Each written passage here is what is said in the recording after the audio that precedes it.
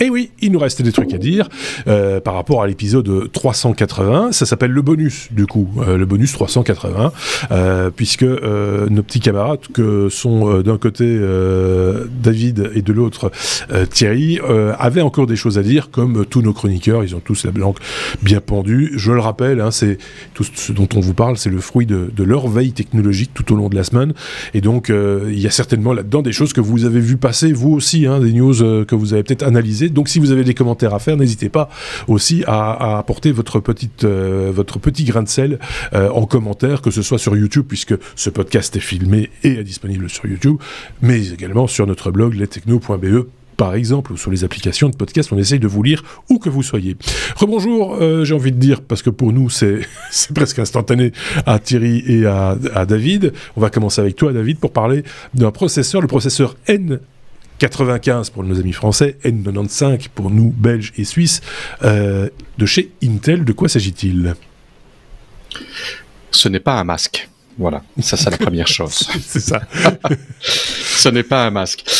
Non, parce que l'article en fait avait une photo avec le processeur avec un masque euh, devant, parce que les, les masques N95, N95. Donc voilà, donc c'est, euh, euh, euh, je pense que j'en avais parlé il y a quelques podcasts que Intel abandonnait les appellations Celeron et Pentium pour le processeur. Et donc les processeurs Celeron, c'est les processeurs euh, euh, bon marché euh, et de basse consommation, et les Pentium étaient également des processeurs premier prix. Et donc Intel a fait passer tout ça à la trappe.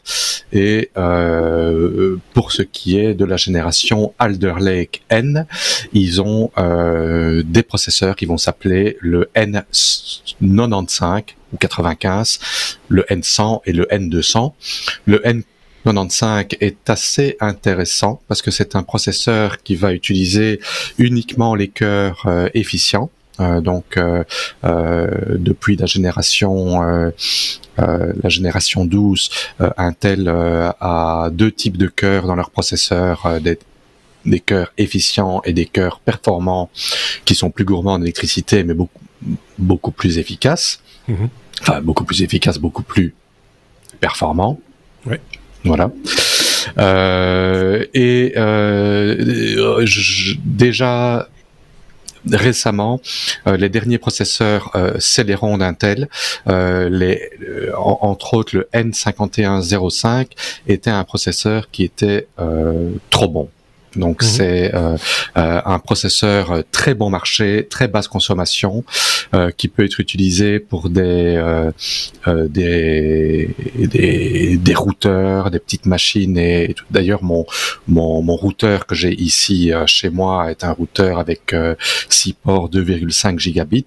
Ben, c'est un Celeron N5105 dedans. Euh, c'est assez impressionnant la performance que ça a pour le prix. Et là, apparemment, le N95 va euh, encore aller à un niveau plus haut mais pas plus cher. Mhm. Euh, ça sera un processeur 4 cœurs, euh, sans grande prétention, 3,1 euh, GHz de maximum, 6 mégas de cache. Euh, donc voilà, ce sont les, les, les, prochaines générations de processeurs bon, bon marché Intel. Euh, et là, je n'y vois que du bien, parce que pour des petites machines euh, toutes simples, des, des, mini PC, des, des, des, routeurs, je parle pas de routeurs professionnels, des, des routeurs qui peuvent être utilisés euh, chez soi, euh, c'est très très très très efficace et très abordable. J'ai l'impression que les, gammes de, chez Intel, et peut-être que d'autres fabricants, chez d'autres fabricants aussi, euh, sont de plus en plus spécifiques. On, fabrique de plus en plus des processeurs pour, pour certains usages. Enfin, ce marché du processeur semble se segmenter beaucoup plus qu'auparavant. C'est juste une impression ou c'est juste? Donc, je pense que c'est une impression. Enfin, c'est juste et c'est une impression en même temps. C'est juste dans le sens que Intel a toujours eu plusieurs familles de processeurs euh, ben, qu'ils appelaient dans le passé euh, les, les Celeron, euh, les Pentium, les Core, les Core i3, i5, i7, i9, qui visaient différents segments. Et, et, à côté de ça, les processeurs professionnels, les Xeon. Mhm Par contre, ce qui est euh, peut-être moins juste, c'est que ce sont des processeurs qui sont à usage euh, euh, libre. Donc ça veut dire que ce n'est pas segmenté pour euh, ça c'est pas un processeur pour des routeurs, ça c'est pas un processeur pour un laptop. Ce sont des processeurs qui qui sont utilisés un peu pour tout. Pour donner l'exemple là du du, du N5105, j'ai un routeur avec un N5105 et j'ai un NUC Intel euh, 5105 qui est en fait très performant pour fonctionner avec deux écrans qui permet de faire du streaming. On peut faire deux, on peut piloter deux écrans 4K en simultané. euh, c'est assez impressionnant.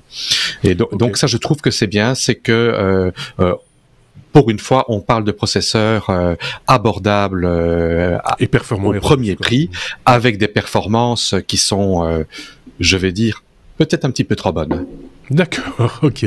Euh, on va parler de tout à fait autre chose avec, euh, avec toi Thierry. Euh, web catalogue, quand des plateformes en ligne se transforment en app, comment se fait se fait quoi? C'est quoi? Mais, mais pourquoi? Mais d'abord, pourquoi?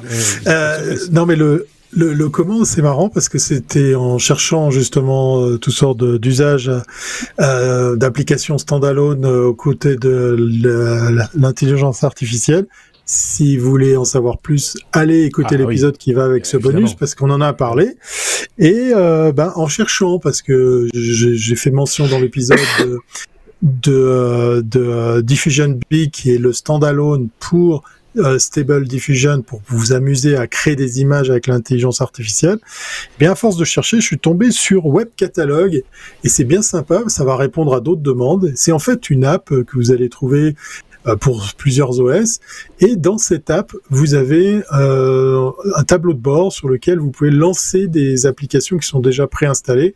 Alors à quoi ça sert de lancer son LinkedIn, son YouTube, euh, son Slack, son Spotify? Eh bien, eh bien, c'est si vous avez par exemple plusieurs comptes, parce qu'en ah fait, vous allez pouvoir mettre autant d'apps que vous avez de comptes. Et vous pouvez dans cette web catalogue, dans cette plateforme hein, qui est une standalone sur votre ordi, faire plusieurs spécialités euh, Spaces, plusieurs espaces de travail. Alors il y a une version gratuite qui vous permet d'en faire quelques-uns, un, euh, par exemple pour vous, un pour vos clients, un pour euh, le privé, etc.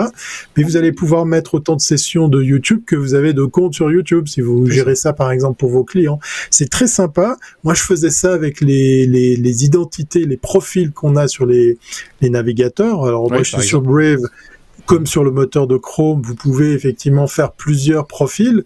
Mais là, je trouve que c'est intéressant parce que ça va encore plus vite parce qu'il y a tout ça sous un seul et même panneau d'affichage. Mmh. Il y a déjà une craquée d'applications. On peut faire les siennes. On peut aussi proposer aux développeurs de dire ah bah tiens j'ai pas j'ai pas trouvé l'app machin truc. Est-ce que tu peux la rajouter au catalogue? Puis pour 40 dollars, bah vous avez un lifetime sur lequel vous faites autant d'espace, autant de d'applications de, que vous voulez. Et euh, je pense que ça va être mon prochain euh, prochain outil de, de travail pour gérer justement, par exemple, les comptes des réseaux sociaux, des plateformes pour mes clients en quelques clics, euh, puisqu'une fois que vous avez renseigné les logins et les choses comme ça, eh bien, vous pouvez accéder très rapidement. C'est joli, c'est mignon, c'est pratique. C'est dommage que je l'ai pas vu plus tôt.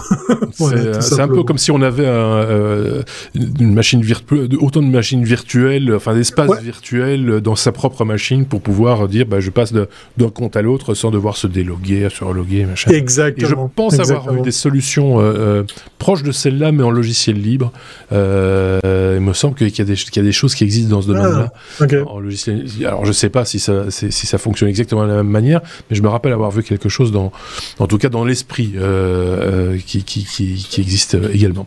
Ça avance le temps. Vous avez vu? Il reste 5 minutes. on a juste le temps de parler, entre autres, de Raspberry Pi. David, apparemment, ça va mieux la production de Raspberry Pi. Il y avait pénurie de composants, il y avait hausse des prix puisque offre de composants, machin, etc., ça devenait cher à Raspberry Pi, autant s'acheter une tour. c'est un ordinateur classique, euh, on va dire, euh, parce que ça, ça, commence à... là, ça va mieux pour 2023, apparemment.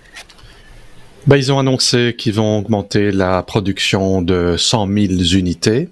Alors 100 000 unités, euh, je ne trouve pas ça très astronomique comme nombre.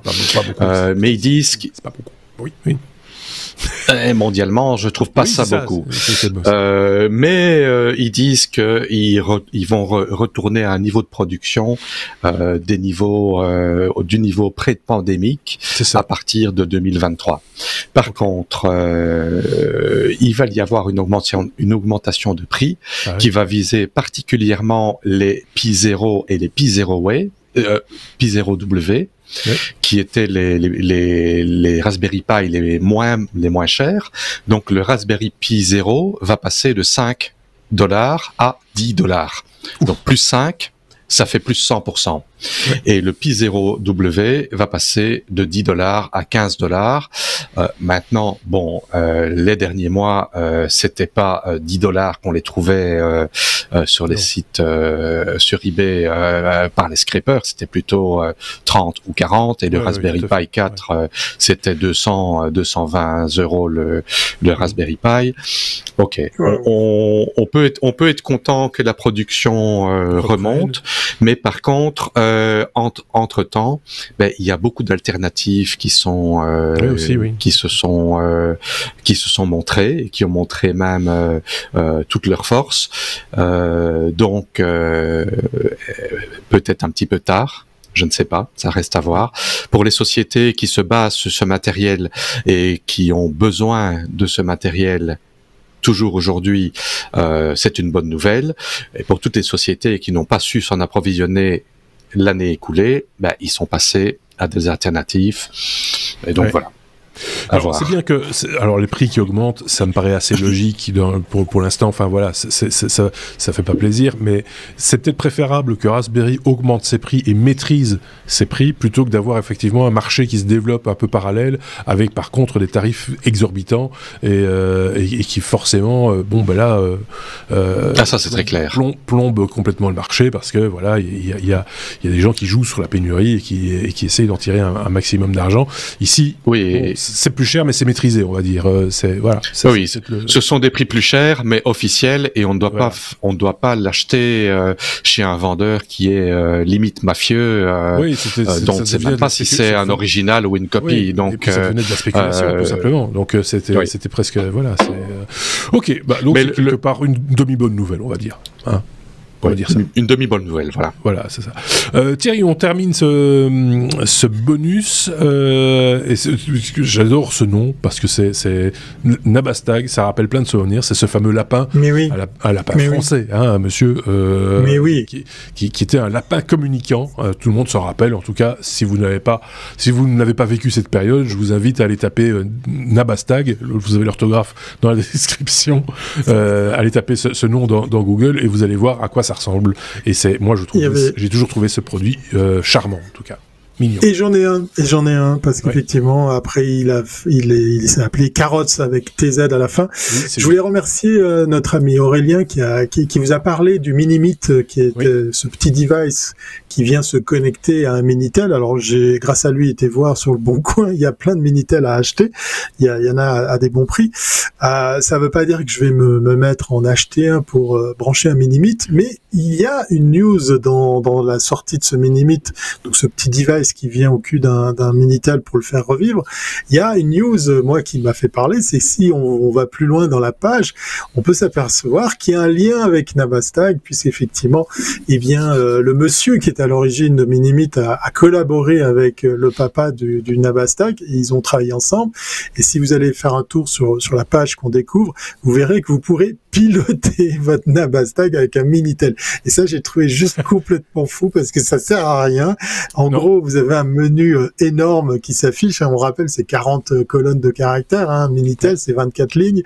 Donc c'est, on est bien loin de, du VGA et encore moins de la 4K. Euh, mais on peut faire joujou pour communiquer depuis son Minitel un, un Nabastag qui euh, qui pourra ben, revivre puisqu'il existe des kits pour le à nouveau le faire communiquer. Je vous en tiendrai euh, euh, je, vous, tiendrai euh, aux nouvelles puisque je vais me procurer ce kit puisque je vais faire revivre mon Nabastag. Voilà, c'était juste une petite news C'était rigolo. J'avais vu le Nabastag sur le site justement de, du Minimit, sur le même. Il y avait comme ça des des, produits comme le vieux téléphone à cadran aussi qui étaient revisités, etc. Ok. Mais est-ce bah, qu'il existe encore des il existe encore des services Minitel? Non, c'est non, alors c'est tout en local. Oui, c'est de l'émulation. De l'émulation. merci David, merci Thierry. Euh, on va se dire à très très bientôt. C'était, euh, je pense, votre, une de vos dernières participations cette année, sauf s'il y a un live qui s'en vient. Et donc là, on aura peut-être l'occasion d'en reparler. Merci à tous les deux, merci à vous de nous avoir écoutés. Et on se dit du coup euh, à très bientôt. Et de nouveau, j'ai perdu mon bouton pour se dire au revoir. Il y a un petit générique. Salut